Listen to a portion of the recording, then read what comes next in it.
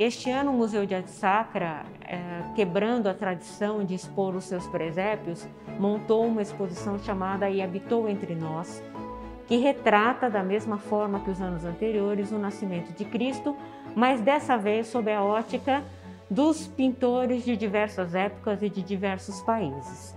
E nessa mostra nós procuramos retratar toda a cronologia do nascimento de Cristo até a sua primeira infância. Nós temos alguns destaques, como por exemplo a representação de Maria grávida, que é a Nossa Senhora do Ó, tá? que está presente nesta exposição, mas nós temos também telas importantes do Renascimento europeu, como as telas de Veronese, as telas de Tempesta e a tela também de um grande artista italiano que é o Palma Vecchio, que é uma tela, na verdade, do comecinho do século XVI.